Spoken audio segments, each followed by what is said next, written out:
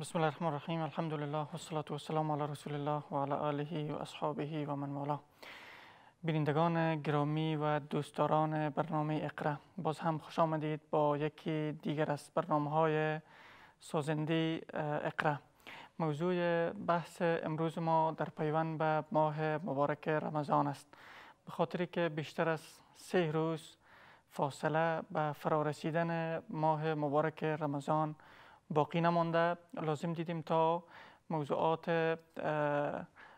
این روزها را به ماه مبارک رمضان اختصاص بدیم و روی موضوعات مهمی که نیاز احساس میشه بحث و پرسش هایی که در زمین مطرح میشه همچنان بگیریم و صحبت بکنیم.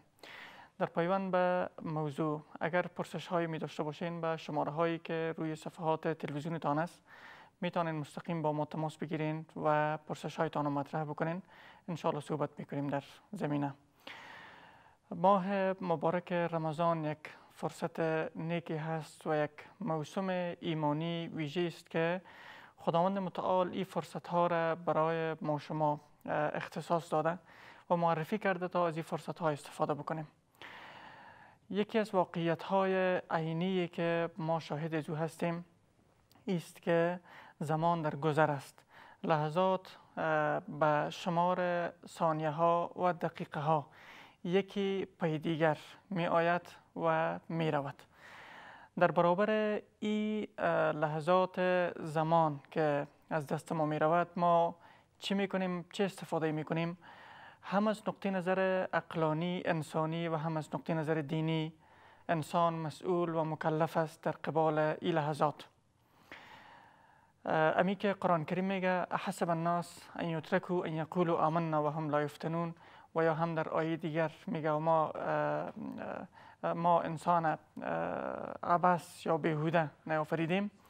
به این معناست که در قبال این لحظاتی که خداوند برش ارزانی فرموده مسئول است و باید از اینا استفاده بکنه. از همین جاست که در چند جای قرآن کریم خداوند متعال به زمان سوگن یاد کرده و ما شما رو متوجه ساخته. و العصر سوگن به زمان. ان الانسان لفی خسر. انسان در زیانکاری است. در زیانکاری به خاطر است که در قبال زمان بی تفاوت است و غفلت پیش است. لحظات از دست میده و نمی‌تونه به طور درست استفاده بکنه. بس و در آیه دیگری هم خداوند متعال میفرماید و لیل اذا یغشا سوگن به شب وقتی که فرا می‌گیرد تاریکیش همه جاره و نهار اذا تجلا سوگن به روز. این هم به مواقع ویژه از زمان متوجه ما می سازه و دوحا سوگن به چاشت.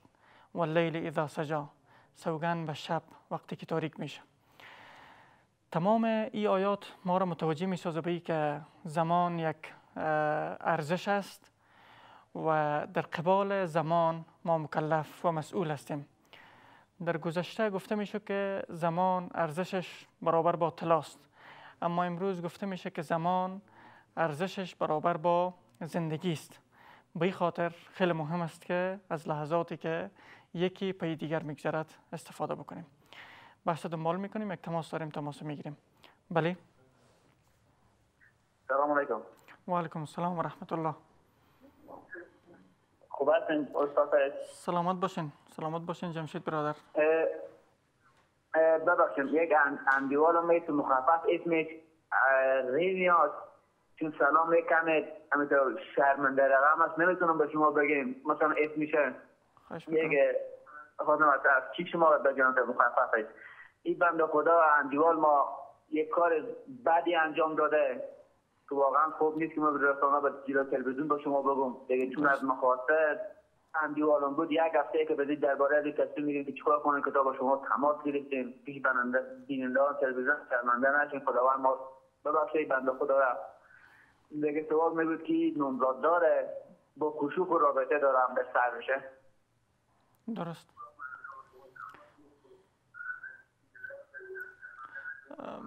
بله برادر میشنوین.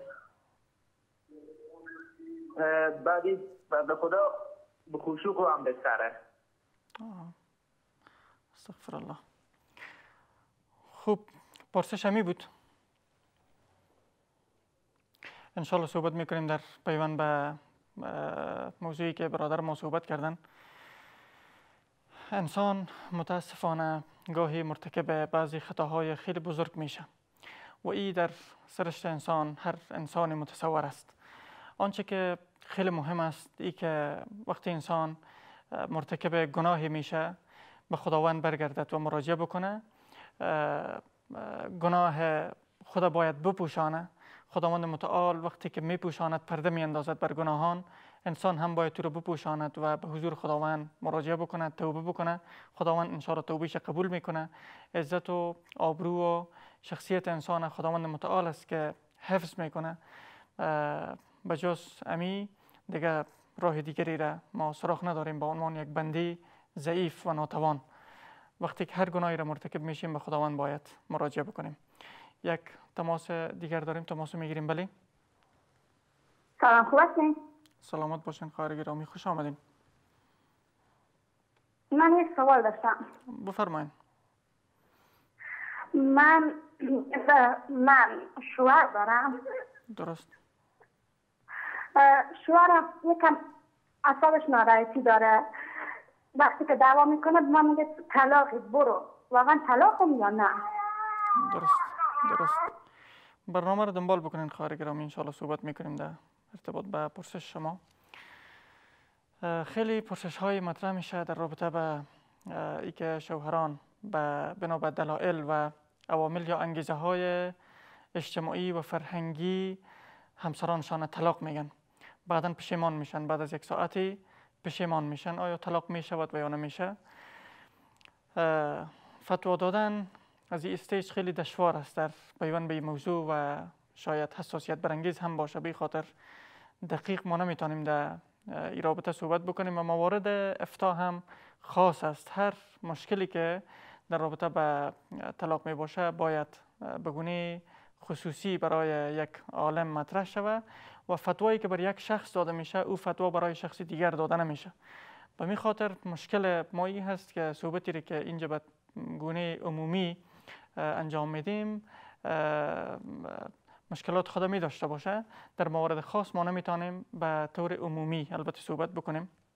اختلافاتی در باب طلاق است من از علمای متخصص و علمایی که آگاهی داشته باشن از قضایای فقی معاصر مراجعه شوه. انشاءالله اونا پاسخ بگن بهتر است. یک تماس دیگر داریم تماس می‌گیریم. بله؟ بله سلام علیکم. و علیکم السلام و رحمت الله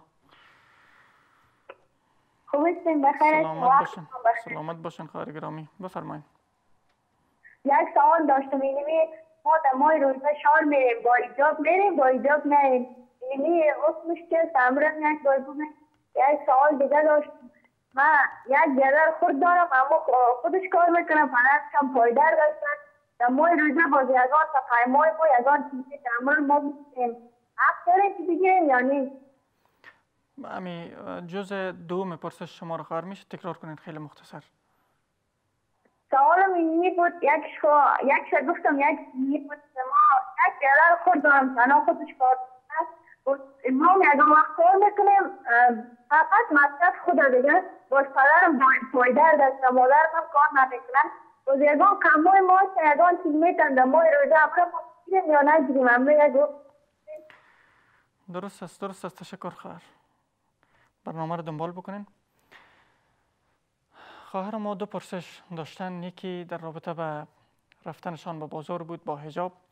برای زنان و خواهران مسلمان.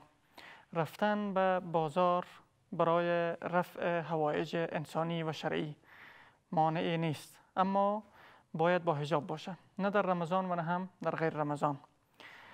مشروط به که حجاب رعایت کنند موضوع دوم که درست البته پرسش نگرفتم. من فکر می‌کنم در رابطه به استفاده از انترنت بود و مشاهده بعضی تصویرها و ویدیوهایی که زیاد شایسته نیست به لحاظ اخلاقی که اونا دیده شود این ویدیوها و تصویرها نه در ماه مبارک رمضان و نه هم در غیر ماه مبارک رمضان مشروع و مستحسن است برای یک مسلمان بلکه اخلاق اسلامی ایجاب می‌کنه که از اینترنت هم استفاده احسن و استفاده بهتر باید صورت بگیره با در نظر داشت چارچوکات اخلاقی که اسلام برای ما معرفی کرده. که صد فیصد سازگاری با فطرت و سرشت انسانی داره و هم در غیر ماه مبارک رمضان باید ما از اینترنت است و یا هر وسیله دیگری که در زندگی کاربرد داره باید استفاده درست و انسانی داشته باشیم. ماه مبارک رمضان فرصت خیلی خوبی هست برای ازی که ما تمرین بکنیم و اعمال خود در بود اخلاقی در بود عبادات و در بود عقاید اصلاح بکنیم. برنامه رو دنبال می‌کنیم یک تماس داریم. بله. بله خواهر گرامی میشتمین آواز بردارین.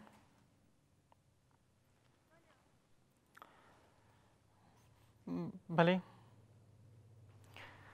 فکر می‌کنم تماس ما قطع شده یک تماس دیگر داریم. خوش آمدین. برادر گرامی بفرمایید سلام علیکم و علیکم السلام و رحمت الله داریم بخیر سلامت باشین سپاس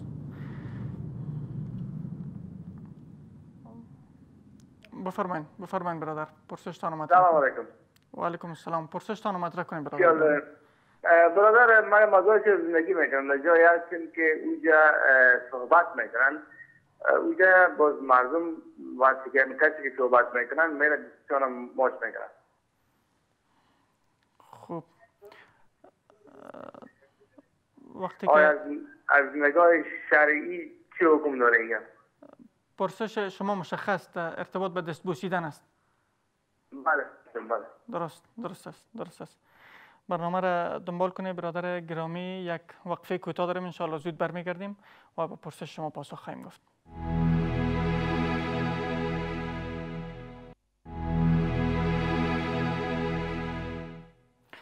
باز هم خوش آمدید. موضوع بحث امروز ما در رابطه به استقبال رمضان است. چگونه ماه مبارک رمضان استقبال بکنیم و چگونه از این موسم ایمانی ویژه استفاده بکنیم؟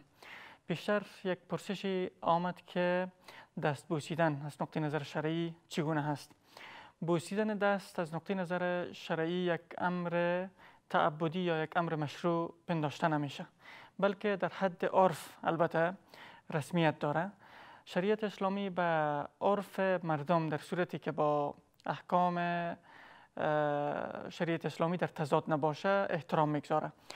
به این معنا که اگر ما دست بوسیدن, دست بوسیدن وقتی که با عنوان یک سنت عرفی می‌شناسیم و شریعت اسلامی در قبال این سنت موقفش معمولا در قبال سنن سنن و عادات مردمی احترام گذاشتن از به سنن و عادات مردم زیاد زیاد ناپسندیده هم نیست و زیاد پسندیده هم نیست بلکه در حد یک عرف و عادت مروج است در صورتی که علما می‌گویند دست استاد و یا هم دست والدین بوسیده شو مانع نیست اما فراتر از دست دیگران بوسیدن به هیچ وجه مشروعیت نداره به خاطری که در دست بوسیدن نوع تعظیم وجود داره پایین کردن و خم کردن سر که مشابه و سجده یا برکو است. به خاطر علما مستحسن نمی‌دانند دست بوسیدن مردمه یک تماس دیگر داریم بله؟ سلام علیکم. و علیکم السلام. خوش شما خوب هستین سلامت باشین بخیر باشین. سلام هستم. از کارت چهار تماس شدیم یک سوال داشتم. بفرمایین خواهر. ما امی مرچه کشتن مرچه چی؟ چی داره؟ چی حکم داره؟ به خاطر که بخیر دستش به تکلیف رسیدیم. چند روز پیش بسیار زیاد بود ما هم دوای مرچه گرفتم چیزی که بود از بین رفت. دیگه اینا بدلم شک افتیده شاید گناه داشته باشه یا چطور. میام مورد اگر کدام معلومات بندازیم بسیار خوش میشم پرسش شما رو گرفتیم خواهر. برنامه رو دنبال کنین صحبت می‌کنیم ان حتما میره پاسخ بتین تشکر از شما جهان خداحافظ. خداحافظ شما. پرسش خواهر ما در رابطه به کشتن مرچه البته بود. مرچه که از حشرات موزی است. حشراتی که اذیت میرسانه. در صورتی که اذیت برسانه کدام مانعی برای کشتن مرچه نیست. از طریق ادویجات البته. اما سوختاندنشان درست نیست. سوختاندن خانه مرچه درست نیست. به خاطر که دی تعذیب است. کشتن مرچه هایی که در خانه هستند در دهلیز هستند و یا در جایی که اذیت میرسانند مانعی وجود نداره. اما مرچه هایی که اذیت نمیرسانند در بیرون هستند کشتن از اونها باز گناه است. در کوچه هستند یا در سرک یا در جای دیگر. بله؟ بله سلام علیکم. و علیکم السلام و رحمت الله. بله. خوش آمدین برادر گرامی. امی آواز تلویزیونتان پست بکنین پرسشتان مطرح کنین بشنوه میشنم آواز شما رو دارم. جبر خالد است مطمئن شد فامیلی داریم راجع به اینکه همی کسایی که در تلویزیون سرشان رسمی باشه و اندامهایشان معلوم میشه و دخترها با خصوصا زنها یا چه در اسلام خود گناه است. درست است برادر پرسش مشخصی دارین در ارتباط پرسش ما است که مثلا ایره باید ما یک کشور اسلامی هستیم و باید ما در این راستا چی کار انجام بدیم درست است درست است تشکر برادر گرامی. خوب ما هم امیدوار هستیم اون قسمی که برادر ما احساس ایمانیشان قابل تقدیر است و ملت ما و مردم ما مردم مسلمان است ارزش های دینی رعایت شود و پاس داشته شود سوی رسانه های ما. رسانه های ما هم نمایندگی از فکر و اندیشه و باورهای امی مردم نمایندگی می‌کنن. امیدوار هستیم که اصلاحات بیایه و مشکلاتی که هست این مشکلات مرفوع شود موضوع بحث امروز ما در رابطه با پیشواز ماه مبارک رمضان و چگونگی استقبال این ماه مبارک است. بیشتر اشاره کردیم به که رمضان یک موسم ایمانی ویژه هست که در قبال لحظات اه، ماه مبارک رمضان ما مسئول و مکلف هستیم که چگونه از این لحظات استفاده بکنیم. و خداوند متعال در برخی سوره ها و آیات قرآن کریم به زمان سوگن یاد کرده به این معنا که انسان متوجه می سازه به که این لحظات و فرصت ها را از دست نده. ماه مبارک رمضان بهترین موسمی هست برای عبادت. پیامبر اکرم صلی الله علیه و سلم در یک حدیثی می فرماید که کسی که ماه مبارک رمضان با ایمان کامل و با امید و باورمندی با امیدواری به که من صام رمضان ایمانا و احتسابا کسی که ماه مبارک رمضان با ایمان روزه می‌گیره و احتسابا به امید کسب پاداش. غفر له ما تقدم من ذنبه. تمام گناهان گذشتهش مورد مغفرت قرار می‌گیره. اه، یک فرصتی هست برای ما که با ایمان و کسب پاداش نیک از جانب خداوند متعال ماه مبارک رمضان رو روزه بگیریم تا اینکه تمام گناهان گذشته ما بخشش شود یک تماس داریم تماس می‌گیریم. بله. بله سلام علیکم. و علیکم السلام و رحمت الله خوش آمدید برادر گرامی. من بخشی یک سوال داشتم. مهربانی مهربانی بفرمایید. گفتم به این وقت که ملا خطبه می‌خوانه بعض مردم دستای خود رو بسته می‌کنه که در نماز استاد میشه. باز بعض مردم دستایشون تو باز میگوشه درست است درست است. انشالله صحبت می‌کنیم پرسش اگر نداشته باشین برادر گرامی. یک وقفه کوتاه داریم بعد از وقفه انشالله در پیوند به پرسش شما صحبت می‌کنیم.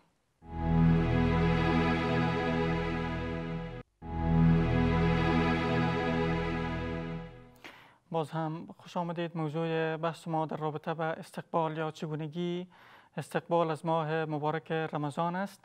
اما پیش از که در پیوند به موضوع صحبت بکنیم پرسش های در جریان وقفه. البته آمد از طرف بینندگان ما و پیشتر از وقفه. یکی از دوستان ما سوال کردند که در جریان خطابه امام در روزهای جمعه برخی مردم دستانشان بسته می کنند گویا که در نماز هستند و برخی دیگر هم دستانشان بسته نمی کنند شنیدن آنچه که در پیوند به خطابه جمعه لازم است شنیدن خطابه امام واجب است. اما خطابه که به زبان عربی بعد از اذان دوم گفته میشه و به زبان فارسی هم اگر باشه شنیدن از او واجب است. خطابه خطابه اصلی جمعه اما خطابه است که بعد از اذان دوم می باشه.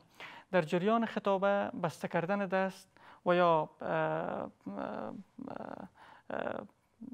عدم بسته کردن دست و یا هم به گونه نشستن دو زانو به طرف قبله این مسائل هیچ گونه وجه شرعی البته نداره. صرف آنچه که مهم است خاموش بودن است و شنیدن خطابه امام با دقت و تأمل.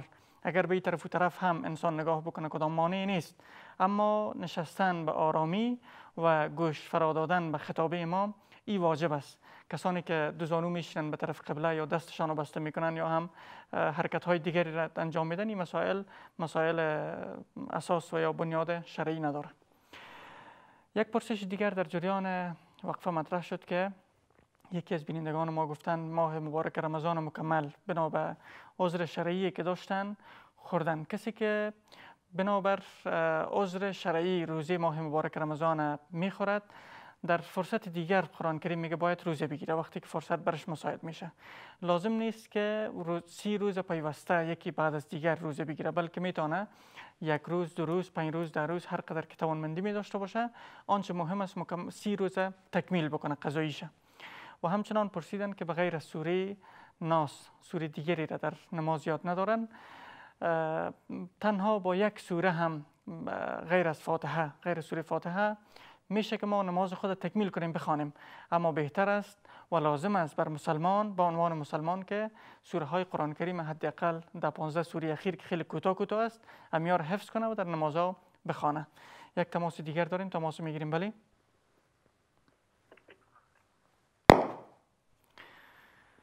فکر می‌کنم تماس ما قطع شد. روزی ماه مبارک رمضان. گذشته از که یک رکن اساسی از ارکان پنجگانه دین مقدس اسلام است و یکی از عبادات خیلی مهم و ارزشمند عبادات در بود عبادات بدنی به شمار میره. از نقطه نظر طبی و پژوهش های علمی که در رابطه به روزه در رابطه با ماه مبارک رمضان و روزه شده. این بهترین فرصتی هست برای طب در بخش طب وقایوی برای حفظ صحی انسانی. این موضوع را دنبال می‌کنیم. یک تماس داریم از ایران. تماس می‌گیریم. بله. ببخشید صاحب از اشتراکان زنگ زدم تلفنم گل شد. گفتم یه اندیوال ما که مثلا همین دعوت نامشروع به خشوع که داره؟ آه. فهمیدید سلام علیکم استاد میشنم میشنم برادر بفرمایید. یه اندیوالی که ما داشتیم مثلا چیز این رابطه نامشروع که به خشوع داره نمزاد داره. آه. میگه از طرف چیز شریعی مثلا مشکل نیست که مثلا معرفی کنم. هست یعنی چیکار کنم؟ درست است درست است درست است درست است برادر گرامی پرسش شما رو گرفتیم پرسشی که پیشتر هم آمد متاسفانه رابطه نامشروع شخصی با خشوش داشته آیا با اون نکاح کرده می‌تونه نمی‌تونه زمانی که رابطه نامشروع یک شخص با خشوش داشته باشه همسرش طلاق میشه دو شخص در یک زمان نمی‌تونه در نکاح انسان جمع شود اما یکی از زمانی که شخص دختری را که به نکاح گرفته او را طلاق بکنه. بعد از طلاق از او مشروع میشه که خشوع از جمله محرمات معقت است. تا زمانی که دختر در قید نکاح شخص است و حرام است. اما زمانی که از قید نکاح شخص بیرون میشه بعد از او خواهرش و مادرش خالیش و کسان دیگری که محرمات موقت به حساب میرن اونا باز نکاح امرایشان حلال میشه و مشروع میشه. یک تماس دیگر داریم؟ تماس می‌گیریم. بله. السلام علیکم و رحمت الله و برکاته. و علیکم السلام و رحمت الله.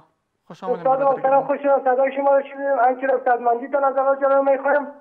استاد محترم ما وقتی که ماه مبارک رمضان میآید ما استقبال ماه مبارک رمضان بهترین ماه وقتی که ما از ماه مبارک رمضان چی رقم استقبال کنیم؟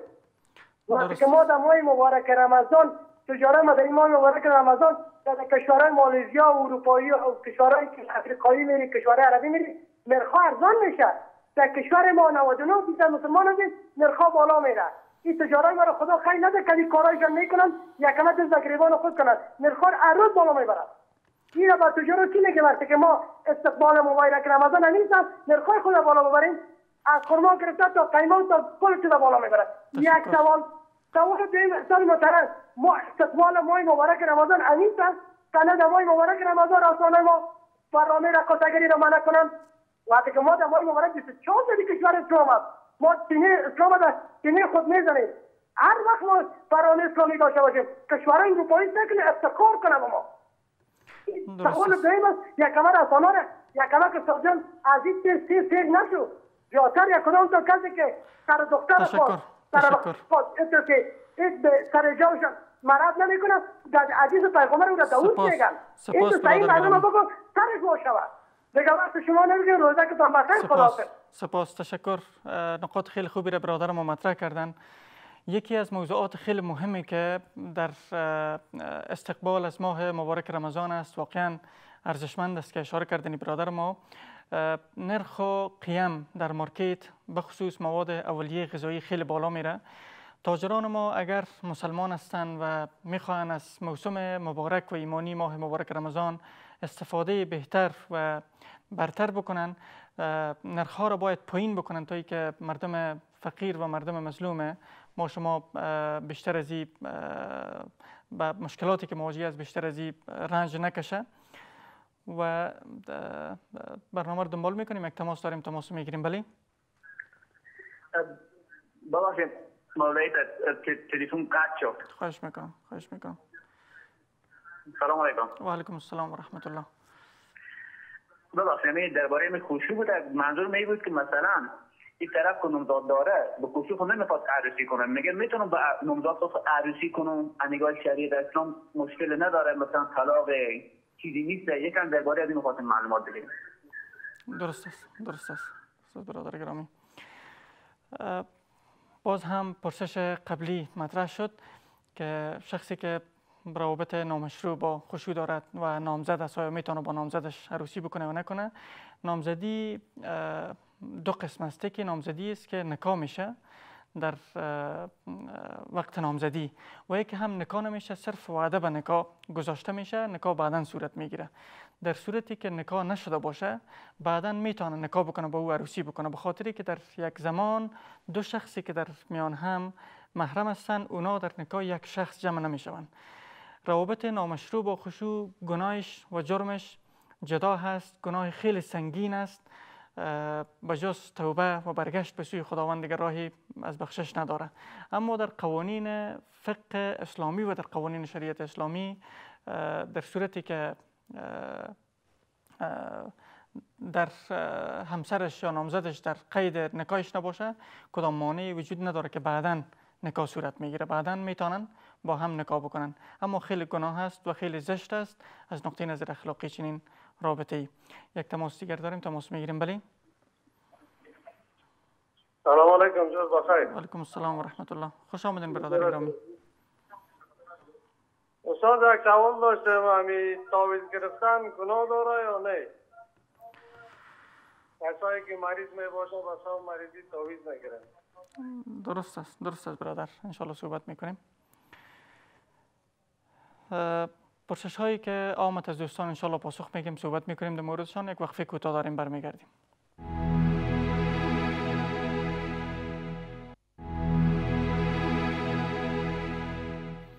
باز هم خوش آمدید موضوع بحث امروز ما در رابطه به چگونگی استقبال از ماه مبارک رمضان است بیشتر یک پرسشی از طرف بیننده گرامی ما آمد که تعویض گرفتن چگونه هست؟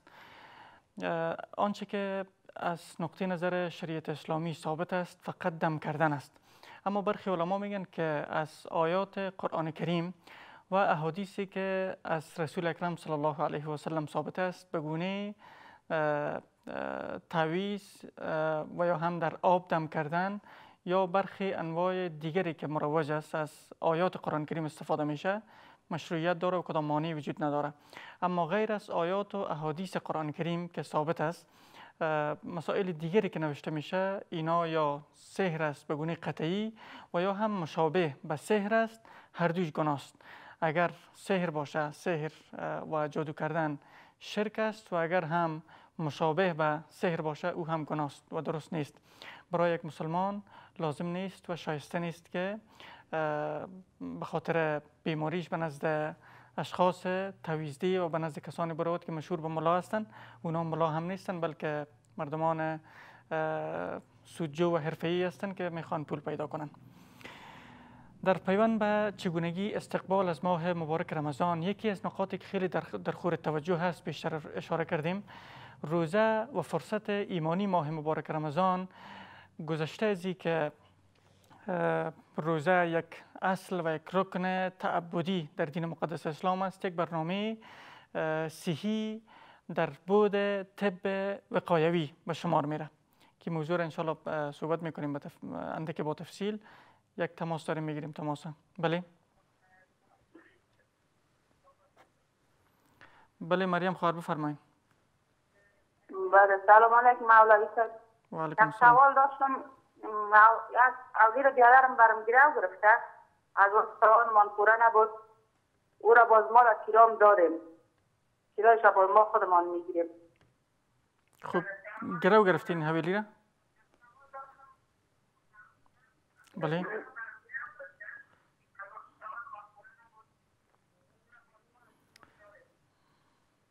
درست است. درست است خواهر دنبال بکنین برنامه را انشالله صحبت می‌کنیم در مورد پرسش شما. پرسش خواهر مایی بود که کدام خانه را به گروی گرفتن و او را به شخص دیگر به کرایه دادن. یا که برادر گرو گرفته و به خواهر به کرایه داده او را. خانه را گرو گرفتن و یا زمین گرو گرفتن و او را دوباره به کرایه دادن قطعا مشروع نیست از نقطه نظر فقه اسلامی و سود است. به خاطر که گروی یک امانت است. امانت از شخص گرو دهنده در مقابل قرضی است که بر او میدیم. این شکل که قرض نزد از او امانت است و پس دوباره قابل پرداخت است این شکل خانه نزد ما امانت است و پس دوباره قابل استرداد است. در صورتی که خود ما استفاده می‌کنیم بنابر ضرورت خانوادگی و ضرورت شخصی بر اجازه شخص گرودهنده استفاده شود فقها میگن کدام مانعی نیست. اما این هم مورد بحث است که استفاده نباید شود از گروی. در صورتی که به کرایه داده میشه اوایدی که از بابت کرایه به شخص میآید این اواید به طور قطعی و مطلق سود است. یک تماس دیگر داریم تماس می‌گیریم. بله. بله سلام علیکم. و علیکم السلام و رحمت الله. خوش آمدین برادر.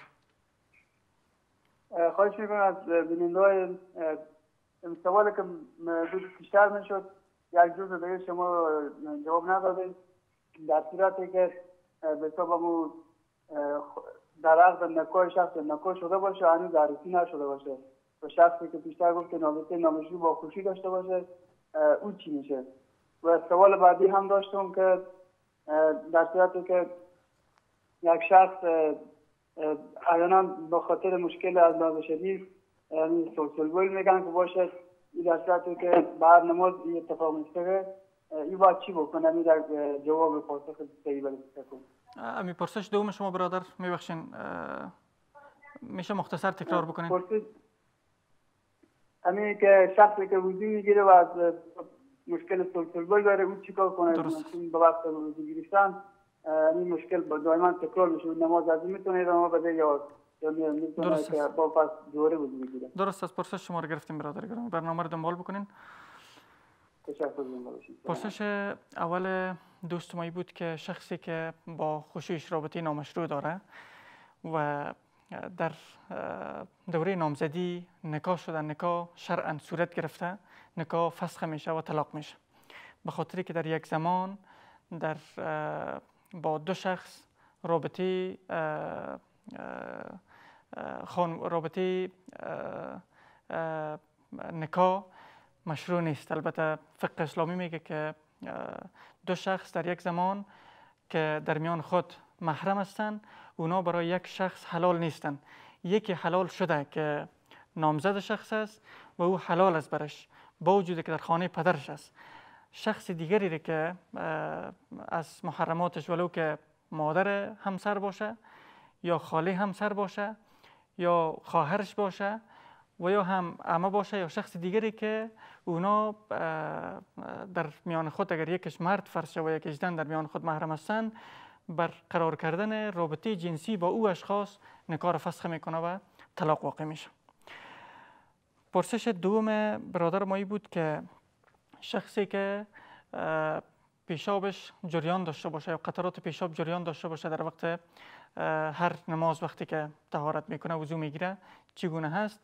فقها اینجا میگن که برای هر وقت نماز یک وضو بگیره و برای هر وقتی که وضو می‌گیره فقط یک وقت نماز مشروع است که بخوانه برای نماز بعدی دوباره وضو بگیره و کدام مانعی وجود نداره.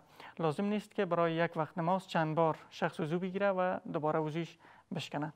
یک تهارت برای یک وقت نماز کافی است بر حال موضوع بحث ما در رابطه به ماه مبارک رمضان است ماه مبارک رمضان در راست و انقریب انشاءالله فرا می‌رسه ما امیدوار هستم که بینندگان گرامی ما پرسش هایی اگر داشته باشند در پیوند به موضوع مطرح بکنند تا خوبتر بتانیم ما ابعاد مختلف چگونگی استقبال از ماه مبارک رمضان به بحث و بررسی بگیریم بیشتر اشاره کردیم که روزه و ماه مبارک رمضان یک برنامه صحی در بود طب وقایوی به شمار میره و بهترین نوع رژیم غذایی بر کسانی هست که طب امروزی برای اونا رژیم تجویز می‌کنه.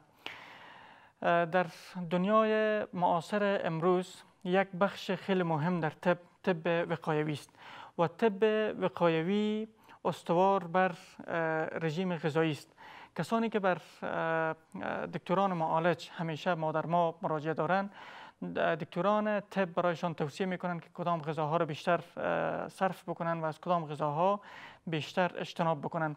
هر زمان شکرشانه چربی خونشانه فشارشانه و مشکلات دیگر وجودشان وقتی که چک میشه فقط تجویز میشه برشان کدام غذاها را صرف بکنند کدام غذاها را مصرف نکنند. ماه مبارک رمضان بهترین برنامه رژیم است. با این تفاوت بین رژیم طبی و رژیم ماه مبارک رمضان که در ماه مبارک رمضان یک انگیزه قوی و نیرومند ایمانی در عقب رژیم است که انسان همیشه تشویق می‌کنه و ترغیب می‌کنه برای صبر و شکیبایی و حوصله‌مندی که گرسنگی و تشنگی را انسان تحمل می‌کنه. برعکس در رژیم طبی که دکتر معالج تجویز می‌کنه در اینجا انگیزه ضعیفتر است و صبر و مقاومت و حوصله مندی هم کمتر می باشه به خاطر که این طرف انگیزه انگیزه ایمانی است و شخص هم انتظار صحتمندی و درمان بیماری را داره و هم انتظار یک پاداش بزرگی را از جانب خداوند. به این خاطر اینجا انگیزه قوی تر است نسبت به رژیم طبی که دکتران معالج تجویز می‌کنند.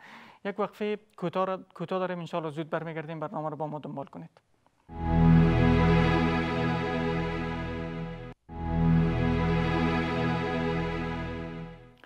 باز هم خوش آمدید. موضوع بحث ما چگونگی استقبال از ماه مبارک رمضان است. پیشتر اشاره کردیم به ای که روزه و ماه مبارک رمضان یک برنامه خیلی درست مهندسی شده و سنجیده برای درمان صحی انسان به شمار میره. و در رژیم غذایی که در جریان ماه مبارک رمضان است یک انگیزه قوی ایمانی را در خود داره که شخص تشویق می‌کنه برای صبر و تحمل تشنگی و گرسنگی. نقطه دیگری که اینجا خیلی در خور توجه است توجه هستی که میلیون ها انسان روزه گرفته. هر طرف مسلمان ها در اطراف پیرامونشان کسان دیگری را می‌بینن که اونا هم صبر و تحمل پیشه کردن و گرسنه و تشنه هستند این انگیزه هم در این رژیم خیلی انسان کمک می‌کنه که مقاومت بکنه و در جریان روز تا 12 ساعت یا 15 ساعت یا کمتر یا بیشتر رژیم بگیره. از نقطه نظر طبی البته. نقطه دیگری که خیلی در خور توجه هست ای که روزی ماه مبارک رمضان برای ده ها نوع بیماری بیماری های مهلک البته بیماری هایی که حیات انسان تهدید می‌کنه اعضای اساسی انسان تهدید می‌کنه درمان است برای شکر برای چربی خون و برای کاهش وزن و مسائل دیگر. این شکلی که روزی ماه مبارک رمضان بهترین برنامه برای بود صحی در جنبه فیزیکی انسان به شمار میره. این شکل یک برنامه سنجیده و مهندسی شده در بخش درمان روانی و درمان معنوی انسان به شمار میره که بعدتر انشالله رو دنبال می‌کنیم. یک تماس می‌گیریم.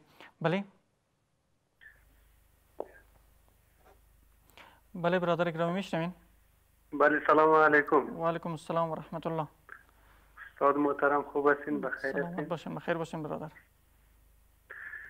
استاد محترم یک سوال داشتیم. سوال ما باره روزه بود. مهربانی.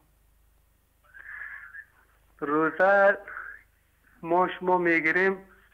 وقتی گرمی است آدم دعوز و بازی باشه مثلا یا گرمی اصول کنیم روزه ما میشکنه نمیشکنه چطور است؟ درست است. درست است برادر. برنامه رو دنبال بکنیم. انشاءالله پاسخ میگم. در جریان ماه مبارک رمضان یکی از پرسش های خیلی مهمی که مطرح است. است که کسانی که گرسنگی و تشنگی خیلی فشارشان میده می‌روند به حمام غسل می‌گیرند و یا هم به حوض آب بازی پناه می‌برند. آب بازی و همچنان حمام کردن باعث نقض روزه یا شکستن روزه نمیشه. در صورتی که انسان از رفتن آب به دهنش یا هم به دماغش به بینیش محافظت بکنه. روزه نمیشکنه اما علمای فقه میگن که باعث کراهت یا مکرو میشه روزه. به خاطر که زمینه مساعد میشه به که آب از طریق منافذ داخل وجود انسان شود. اگرچه از طریق بینی و یا هم از طریق دهن آب وارد نمیشه اما از طریق انساج جلد یا از طریق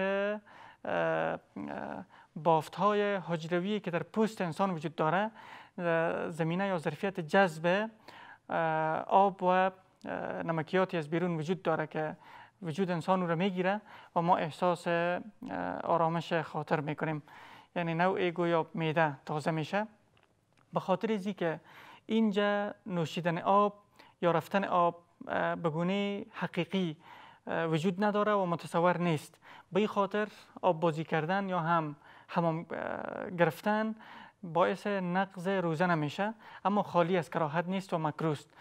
انسان کوشش بکنه که اجتناب بکنه بهتر است. بر حال نقطه دیگری که در خور توجه هست بیشتر اشاره کردیم روزی ماه مبارک رمضان درمان برای ده ها نوه بیماری هایی است که حیات انسان تهدید می‌کنه. پیامبر اکرم صلی الله علیه و سلم در یک حدیثی میفرماید که بدترین ظرفی که انسان پر می‌کنه او را ظرف شکم است. برای ابن آدم یا برای شخص مؤمن این کافی است که چند لقمه به حسب ابن آدم لقیمات یقمن صلبه. برای انسان مؤمن این کافی است که یک چند لقمه نان بخوره که او را استوار بسازه یا توانمند بسازه برای انجام عبادات و انجام کارها و امور یومیه و روزمریش. ایجاب نمی‌کنه که بسیار زیاد انسان بخوره و خوردنش باعث کسالت و سستی و تنبلی و خواب بیشتر شود در ادامه از این حدیث پیامبر اکرم صلی الله علیه و سلم میگه اگر انسان بسیار حریص است به که باید بیشتر بخوره دوست داره غذا که بیشتر بخوره باید میده خوده به سه قسمت تقسیم بکنه. یک قسمتش برای غذا یک قسمتش برای آب و یک قسمتش برای نفس کشیدن. به خاطری که نفس کشیدن باعث هضم غذا میشه و صحت انسان حفظ می‌کنه. یک قسمتی از میده را خالی گذاشتن این سنت رسول اکرم صلی الله علیه و سلم است. به می خاطر برخی روایات می آید که یک زانو نشستن به هنگام صرف عام سنت است یا مستحب است. به خاطر از که قسمتی از میده خالی بیاید و انسان بتونه به شکل درست اکسیژن بگیره و نفس بکشه تا اینکه زمینه هضم غذا فراهم شود. این حدیث ارتباط مستقیم و پیوند ناگزستنی با حدیث دیگری داره که رسول گرامی اسلام صلی الله علیه و سلم میفرماید امام بخاری نقل کرده البته اردو حدیثه که ان الشیطان لیجری من ابن آدم مجرد دم. شیطان حرکت می‌کنه در وجود انسان بر مجاری خون یا بر میان رکها و شریان ها و وریدهای که خون جریان داره. وقتی که شیطان این توانمندی رو داره که در داخل خون حرکت بکنه. خون طبیعی هست که از مواد غذایی و آب آشامیدنی و خوردن و آشامیدن ترکیب میشه و ساخته میشه. شیطان ارتباط خیلی نزدیک با خوردن و آشامیدن داره. اگر ما خوردن و آشامیدن خود بر مبنای مقتضای سنت نبی اکرم صلی الله علیه و سلم و بر مقتضای پژوهش های طبی امروز ایار ساختیم استوار ساختیم. یعنی به مو اندازه خوردیم که کفایت می‌کنه برای ما برای زندگی و باعث کسالت و خواب بیشتر و بلند رفتن وزن و بلند رفتن چربی خون و شکر روی مسائل نمیشه. در این صورت شیطان هم زیاد نمی‌تونه نفوذ بکنه در داخل وجود ما. اگر ما این اصول البته آداب خوردن و نوشیدن رعایت نکردیم. شیطان هم از این طریق نفوذ می‌کنه در داخل وجود ما. کسالت سستی و تنبلی و تشویق و ترغیب به گناهان. خیلی از گناهانی را که انسان مرتکب میشه انگیزش بیشتر به مواد غذایی برمیگرده که انسان رو صرف کرده. وقتی که انسان بیشتر مواد غذایی را صرف می‌کنه یا مواد مقوی می‌خوره او یک طرف غرایز نفسانیش تحریک میشه و تشویق میشه انسان به سوی و انحراف میکشانه و این شکل کبر و غرور و این مسائل به بار میاره و مشکلات خیلی زیاد دیگری را به این خاطر رسول اکرم صلی الله علیه و سلم توصیه می‌کنه که کم خوردن و کم خوابیدن برای انسان مؤمن از خصلت های انسان مؤمن است در پیوند به مسائل صحی بودن رژیم روزه تحقیقات و پژوهش های علمی خیلی گسترده صورت گرفته امروز و روزه یکی از احادیثی که در ارتباط آمده نشان دهنده معجزات نبی اکرم صلی الله علیه و سلم است روزه خود یکی از گذشته که یک فرصت ایمانی ویژه هست برای اینکه انسان درخت ایمان خود با شاخ و برگ و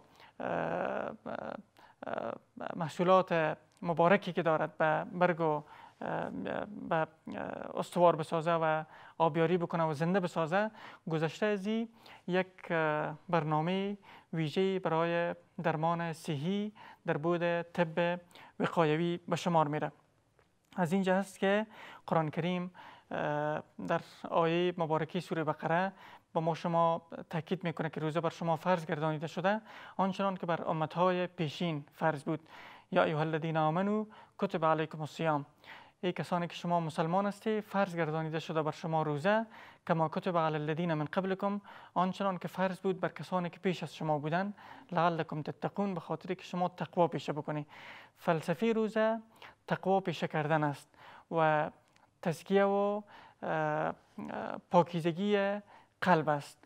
صفای قلبی در بود اخلاقی و صفای قلبی در بود عقیدتی از طریق بروزی ماه مبارک رمضان. انسان در جنبه اخلاقی فضائلی را کسب می‌کنه که انسان شخصیتش زیبایی میبخشه و رابطه انسان با انسانهای دیگر به گونه شایسته تأمین می‌کنه و همچنان در بود عقیدتی اصلاحات و یا فضائل اخلاقی را که ما کسب می‌کنیم در ماه مبارک رمضان به گونه مستقیم بر جنبه عقیدتی ما تأثیر میندازه بر شخصیت ما تأثیر میندازه ارتباط ما را با خداوند متعال هم سر و سامان میده و رقم می‌زنه. به خاطر ماه مبارک رمضان فرصت اطلاعی است و احادیث بیشماری از رسول اکرم صلی الله علیه و سلم در باب ماه مبارک رمضان و روزه روایت شده که انشاءالله در برنامه بعدی او را نقل می‌کنیم آیاتی از قرآن کریم هم در اختصاص روزه آمده که اونا رو هم در برنامه های بعدی دنبال می‌کنیم. از همراهی و توجه شما تا این دم یک جهان سپاس تا برنامه دیگر که باز هم در خدمت شما قرار می‌گیریم. هر یک تانو به خداوند یک تا و میسپاریم.